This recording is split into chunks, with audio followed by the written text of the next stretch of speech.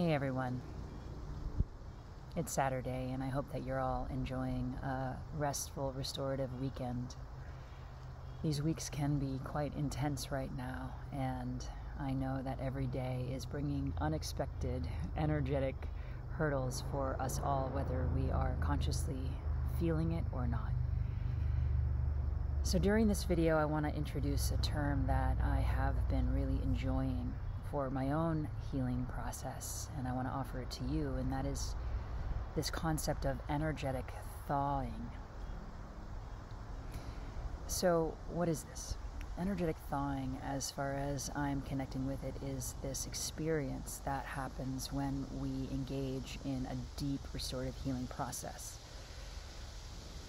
When we go through our lives and we swallow a lot we swallow our feelings, we swallow traumatic experiences, we swallow life, and we don't really have the tool set to connect with love.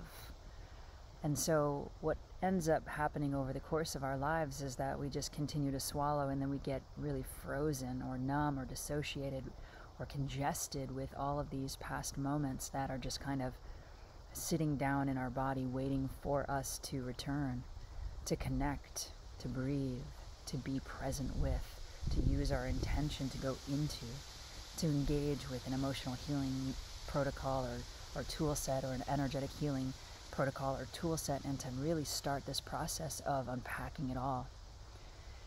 And so, what happens before engaging in a self healing program is oftentimes that we find ourselves getting um, what I often will call comfortably numb in our lives it's the time before the storm really starts to surface in our bodies where we're just kind of plodding along in our lives and things are just okay.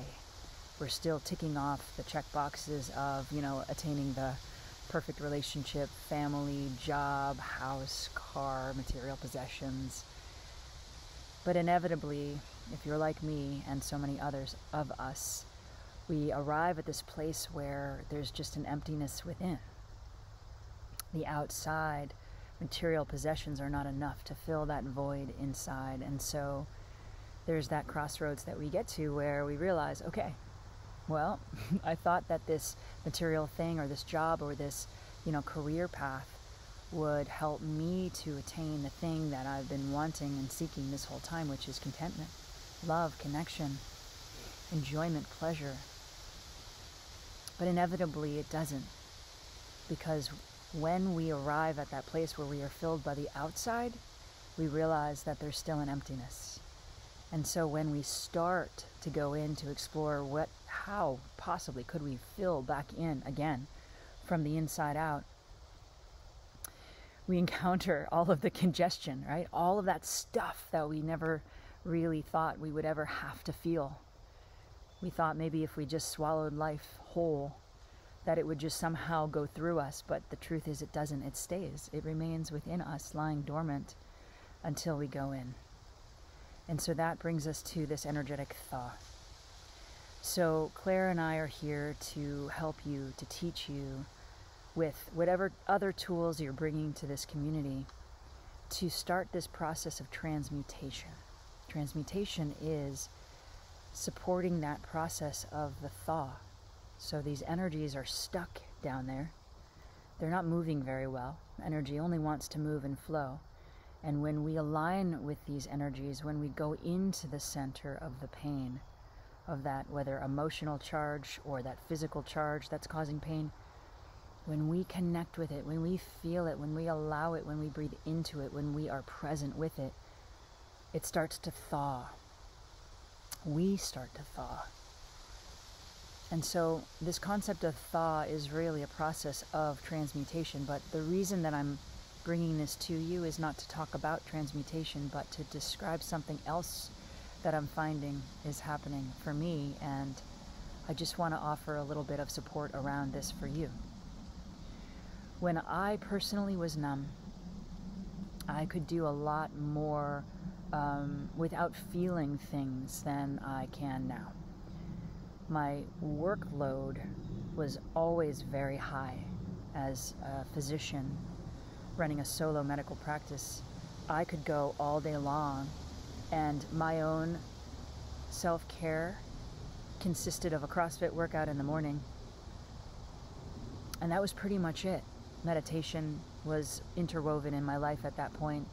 I attended AA meetings regularly at that point, so I had my spiritual box checked. I had my um, meditation box checked. I had my workout box checked. And then I would just launch into a day.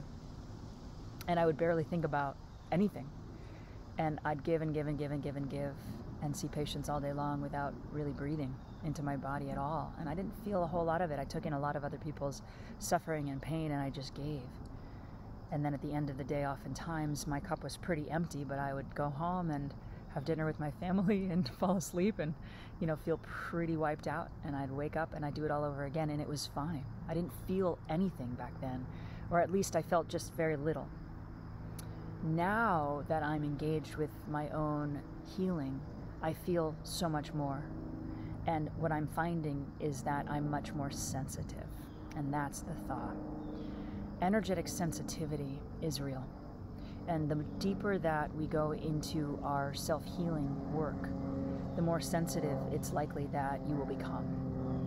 And so when this happens, it can be a little bit confusing. And I'll, exp- I'll just offer an example of what this looked like for me just yesterday. So I work a lot during the work week, and I'm preparing for a course that I'm running next week to a group of doctors. And so, as a result of that, on top of my normal regular workload, I have an enhanced workload because I'm also creating and preparing for a course. So, I've been working seven days a week for a couple weeks now. Not all day long, but just so much that I've been feeling an internal little voice, my little self saying, I'm tired, I'm overwhelmed, I'm out of balance, I need more rest. And because I'm used to how I used to be, I've been pushing through. So I'm used, my brain is used to feeling rather numb. And going through, uh, I mean, medical training is exactly that it's a dissociation of sorts from self, it's an abandonment from self, is really what it is. And so we've all just learned how to suck it up right? Dust ourselves off, go forward with our lives, disregard our own basic needs. And I have conditioned myself to ignoring my own basic needs, and I actually was applauded for that. Wow, look at how much you can do in a day. Look at how many patients you can see. And we, we all have eh, done this at some point in our lives, and hopefully you're starting to change that within your life as I know I am, but it's not an easy one. And so yesterday, my body got to the point where I was exhausted, but it was like I was still just ignoring the call from within. My soul was saying, I have new needs now. That's the thaw. When we have our needs beginning to be known from the inner recesses of our body, as our body starts to thaw, what has happened for me is if I ignore those basic needs, then it erupts in an emotional storm. And that's exactly what happened for me yesterday. Claire and I were engaged in a pretty heated moment, and I got really triggered because I was becoming very rigid and inflexible over um, a work related issue that we were talking about. And thankfully, because I've, I've been engaging with emotional tools for a while now, I erupted a little bit I discharged my discomfort onto her. It had nothing to do with her. And I knew enough to get into my car, go for a drive, tuck into the woods, and cry. And I let it out. This thaw is something new. Knowing that there are needs inside of me that are needing to be met. It's beautiful when we can hear that, when we can honor that, when we can give in to those primal needs of our little ones. And what do, they, what do we need? We need love. We need rest. We need food. We need nurturing. That's it. When we can, can honor and care for our basic needs, our body can thrive. When we ignore those needs, our body goes into survival.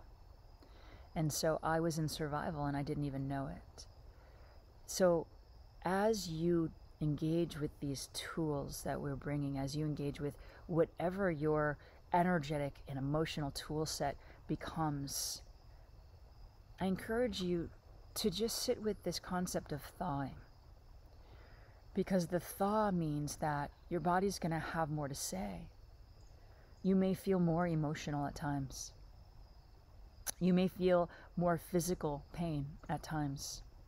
You may need more rest at times. You may need more food at times. You always need more water. And as you thaw, it is not a sign of weakness to honor your needs. In fact, it is part of the healing process because your body is literally rewiring itself from the level of energy up into the level of neurology and then up into the level of your body, your tissues, your soma.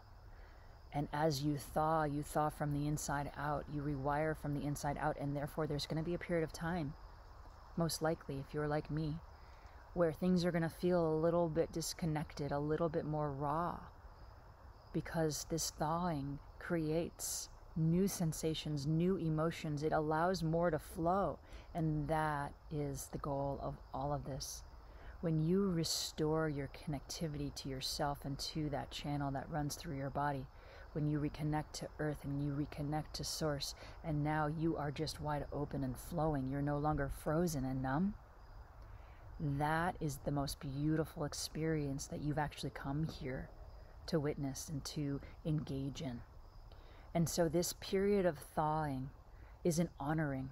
How can you honor yourself as your body is healing, as your body is rewiring, as your body is unfreezing itself from the states of disconnection, numbness, and being really incoherent? It's uncomfortable at times. And, you know, I know that we get used to powering through our days. It's an easy one to just continue. And I ask and encourage that you just think about this. Where can you add in more rest? Where can you add in more time to listen, to breathe, to come back into your body, to be still? Because the more that you do, the easier this thawing process will be for you. And when you feel really uncomfortable, like you're coming out of your skin, if you're feeling some emotions that you don't want to feel, I know that one too. When you go into the middle of it, when you just allow those feelings to flow, you breathe, you show up for yourself in the most loving ways. You bring that flow back into the core of that iced down density and that transmutation of energy starts to open you up from the inside out. You thaw from the inside out, and this whole process unfolds around you and through you. So, it's not an easy process, and I'm finding that the deeper I go and engaging, particularly with the emotional tools, the energetic tools have been really just pure magic. The energetic work is so beautiful to witness because you literally go from a state of feeling stressed out and incoherent. When you engage with a self healing energetic practice, within minutes, you can transform your body into one of coherence, calm, and expansion and reconnection. It's the emotional tools that I personally find to be more challenging because when those emotions start to rise up to be felt and expressed, and there's charge there, I know for me, I want to run away. That's my that's just something that I've been very accustomed to doing. And so now the call is go in, go in. Go inside. That's where that's where the thaw begins. Inside in the core. So this is a rewiring process for all of us. We're doing this together and this is why because it's not easy, but it is pure magic. You will restore your body to pure limitless love. So I hope this helps you, and I will see you next time.